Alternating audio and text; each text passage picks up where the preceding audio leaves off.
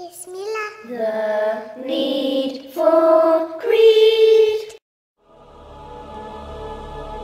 Islam denounces terrorism.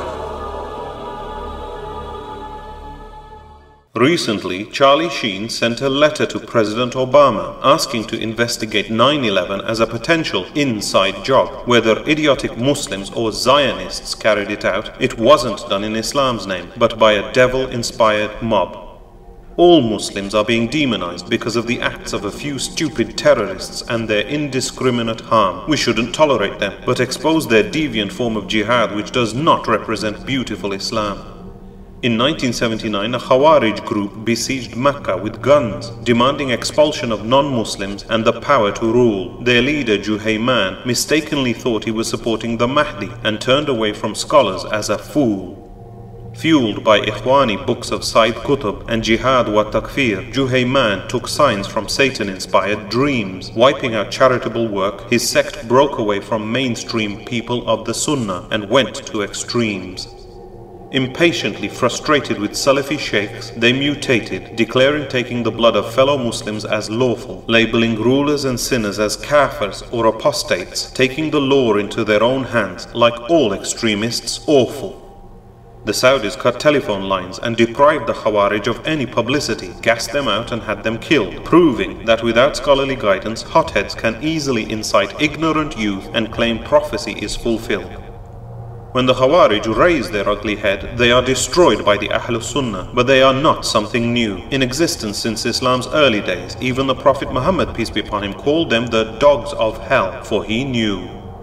Once, when the Prophet, peace be upon him, was distributing wealth, their founder, Dhul Khuwaisara, barked, Fear Allah and be just. The companions wanted to kill him, but the Prophet restrained them and revealed to them information in trust.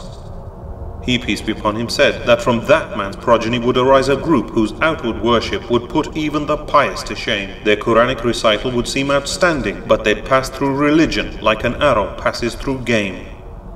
Just like a fatal bullet, the Khawarij would enter Islam by a tiny hole but exit, leaving a gaping wound that marred. The Prophet, peace be upon him, said they'd kill innocent Muslims, and if he lived in their time, he'd destroy them just like the Ad. He, peace be upon him, also said they'd be misguided youth with deficient intellect and shaven heads, and appear from the east. They'd make their speech perfect to confuse you, utilizing truth as falsehood, the worst of creatures, the least. He also said that a tree in paradise called Tuba is a reward for those who kill or are killed by the evil sect. So there is no shame involved in exposing, warning against and fighting them, for Allah sanctioned it in effect. The Prophet, peace be upon him, mentioned 20 times that every time a new generation of Khawarij arises, they'll be defeated, until in the end times the Antichrist Dajjal will appear amongst them, while they think they're right, conceited. Ali, may Allah be pleased with him, fought the Khawarij after they robbed travelers, killed livestock and non-Muslims under a peaceful pact, whereas Allah has allowed Muslims to eat the meat of Christians and Jews and to marry their women as a fact. They switched allegiance to suit their delusions and lust for power, making up their own rulings without a clue. They declared the third caliph, Uthman, may Allah be pleased with him, as a kafir, then fought alongside Ali, may Allah be pleased with him, before declaring him one too. In justice, Ali sent Ibn Abbas, may Allah be pleased with him, to talk sense to the Khawarij camp, urging them to repent he would call. As he neared, he thought he heard buzzing bees, but it was the Ma'rikun reciting the Quran before their fall. Their foreheads and hands were calloused from prostration. When Ibn Abbas entered camp and bravely spoke, one foolishly recited the Quran against him, saying, Ignore the Qurayshi, rather they are a quarrelsome folk. The self-amazing clique wore disheveled short thobes and ridiculed Ibn Abbas for wearing a smart shroud. They argued over points of fiqh as insignificant as killing mosquitoes, yet the companions' blood they allowed. Ibn Abbas said he represented Ali and the companions, may Allah be pleased with all of them, scholars of the Quran on whom it descended. Seeing that there were no scholars amongst the Khawarij, only a few listened, others sauntered off offended. They raised three points that Ali allowed men to arbitrate a war truce, whereas judgment is for Allah alone, that Ali should remove leader of the faithful from his title, and that he didn't take captives was also a moan. The scholar Ibn Abbas asked them, If I refute your claims from the Quran and Sunnah, will you all turn back? They agreed, and one by one he annihilated their points as futile, and out of 6,000, a third repented before attack. He quoted that for killing even a rabbit whilst in ihram on pilgrimage, Allah allows men to judge, fine or waive. That Messenger of Allah was erased in the Hudaybiyah Pact and that Aisha, may Allah be pleased with her, would have been taken as a slave. The companions went into the camp and faced the evil Khawarij who threw spears and then swords they drew. But Allah had forsaken the wretched terrorists and all 4,000 were killed whilst from the companions only two. The Prophet, peace be upon him, foretold that the party closer to the truth would kill the Ma'rikun when the Muslims would split. It turned out that Ali's party was closer to the truth than Muawiyah's. May Allah be pleased with both of them, and that's where we will leave it. Ali sifted through Khawarij corpses to confirm he was in the right after he slaughtered them in utter defeat. For the Prophet, peace be upon him, had foretold that among them would be a man with an arm stump that looked like a goat's teeth. Wars are undertaken to prevent injustice, and the Quran states that saving one life is like saving all of humanity. But brainless terrorists have made it pointless by hijacking and suicide bombs, and we need to stop their insanity.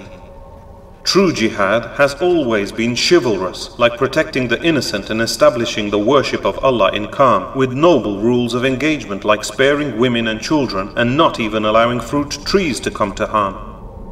Jihad means striving for Allah and includes hating sins, speaking truth before a tyrant and principled fight. It isn't to overthrow rulers and kill peaceful folk to steal their wealth. That's the crusader way of flexing might. These neo-Khawarij terrorists are selfish cowards and traitors, not calling with wisdom to Allah straight way. Instead of correcting deficiencies in themselves, they would rather kill indiscriminately and blow innocents away. Instead of establishing the Islamic State firstly in their hearts, they impatiently try to enforce it fully fledged. Instead of worshipping Allah and being kind, even to animals and plants, to revolt and overthrow they've pledged. They use emotional nasheed songs, slander Salafi scholars, and nonchalantly label Muslims as being apostate. Most being unmarried youngsters, they recklessly incite violent demos and politically demand an Islamic state.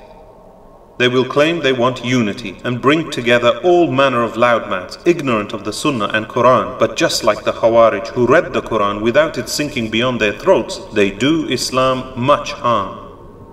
Allah has promised hell for those who commit suicide. To add to this, terrorist bombers also murder the blameless. They could end up in hell, whereas they thought it was an easy way to get Hur al-Ain in paradise, being shameless. Every time a plot is thwarted, normal Muslims cringe when they turn on the news, hoping the criminals are caught. For sure, we know Al Qaeda doesn't represent Muslim interests, but spreads fitna or turmoil by the easily bought. We should be glad when terrorists are caught and not support the likes of Bin Laden, the war on terror's pretext. The Neo Khawarij will never attain honor, but then neither will any enemies of Allah in this world or in the next.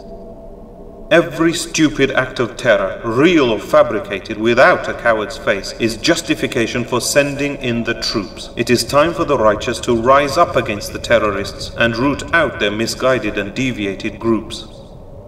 If you're a disillusioned youngster, don't be taken in by angry takfiri politics or Al Qaeda type hypocrite fakes. Don't be dumb or a patsy or sell your faith cheaply for eternal hellfire, but seek guidance from Salafi sheikhs. Reject Satan's Mujahideen al-Qaeda, hate-filled Hizb ut-Tahrir, Hezbollah and grave worshipper Barelvi Taliban, and shun the companion-hating Shia, for they will follow the Dajjal, Moshiach Mahdi, when he appears in Isfahan.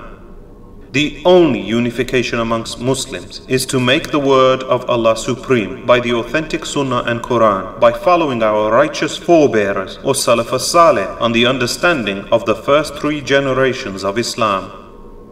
As for the rest of us, everyone is a shepherd and will be questioned on the last day by Allah about his herd. Parents must teach their children the beauty of worshipping Allah correctly for terrorism to be deterred. A companion called Ashhaj bin Qais, may Allah be pleased with him, was loved by Allah and His Messenger for two qualities that he had got. Those were tolerance and forbearance, as being gentle beautifies a matter, whereas being harsh uglifies it a lot.